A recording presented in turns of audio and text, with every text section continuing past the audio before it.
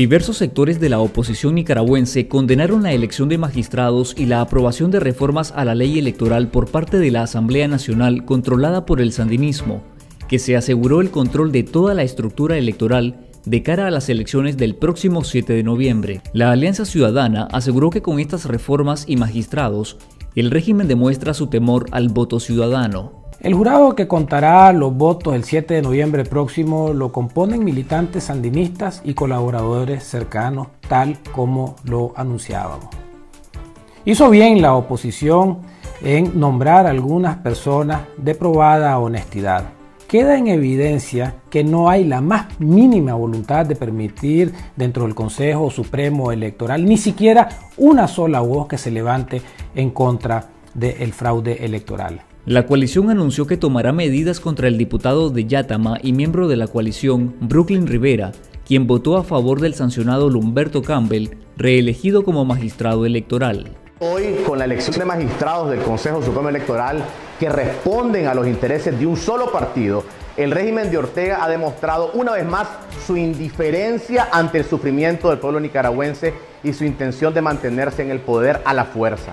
La ley aprobada el día de hoy no le devuelve a la ciudadanía la confianza en el poder electoral.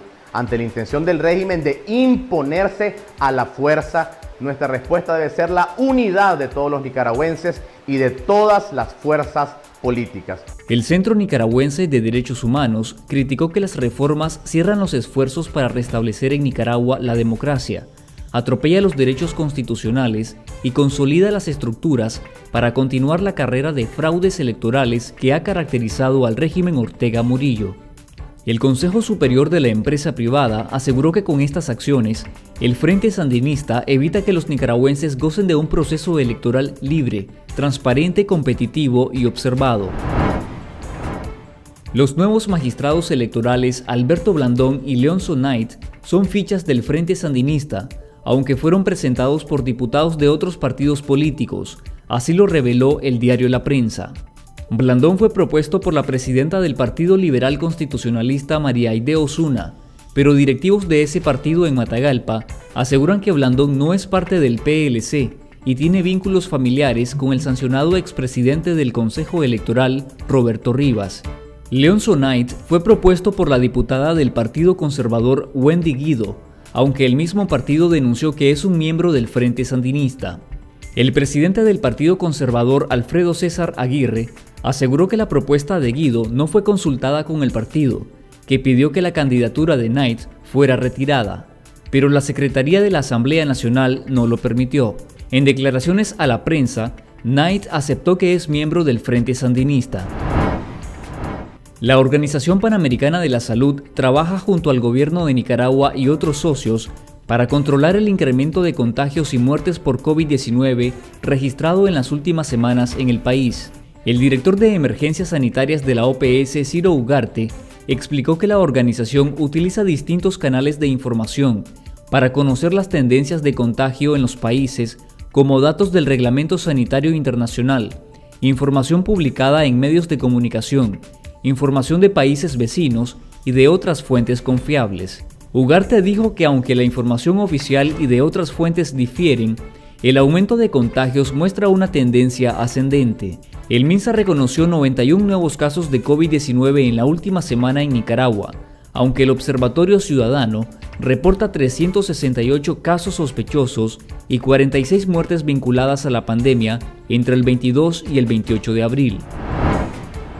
La abogada defensora de presos políticos Yonarqui Martínez informó a través de sus redes sociales que dio positivo por COVID-19. Martínez denunció que el pasado 2 de mayo se presentó a un hospital de Managua con síntomas relacionados a la COVID-19, pero le negaron la realización de la prueba y la enviaron a su casa con un tratamiento utilizado para tratar esta enfermedad. La abogada dijo que se encuentra en reposo y aislada, al igual que su asistente, quien también presenta síntomas de la enfermedad. Después de una leve recuperación en Semana Santa, el sector turístico nicaragüense volvió a bajar sus expectativas por el incremento de casos de COVID-19 en el país. La presidenta de la Cámara Nicaragüense de Turismo, Lucy Valenti, alertó que el rebrote de la pandemia causará una reducción en la actividad turística. Según el Banco Central de Nicaragua, Entre enero y febrero, el sector de hoteles y restaurantes tuvo una caída de menos 25.7%, aunque en Semana Santa el Instituto Nicaragüense de Turismo reportó la movilización de casi 4 millones de nicaragüenses. Para enfrentar el rebrote, el sector turístico apuesta por actividades al aire libre que disminuyen el riesgo de contagio. En nuestro sitio web confidencial.com.ni le invitamos a leer el reportaje Pacientes con síntomas de la COVID-19, ¿me contagié o no? en el que se describe cómo el Ministerio de Salud niega la realización de pruebas a pacientes con síntomas relacionados al coronavirus.